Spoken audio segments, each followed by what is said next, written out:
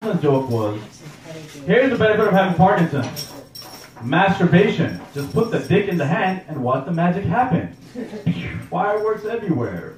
Now this girl came after the show to me.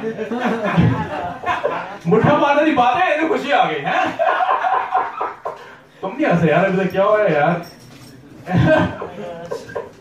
so this girl came after the show and she was like hey my dad has Parkinson's that wasn't cool for you to make for you to say Parkinson joke and she was crying and immediately I said well my dad has Alzheimer's I make fun of that my dad doesn't have Alzheimer's I can't just lose an argument to a woman like that so, yeah, that, fuck that. Yeah, man, shit. So, especially like a hottie, man. I'm thinking she's vulnerable right now. I'm gonna take advantage.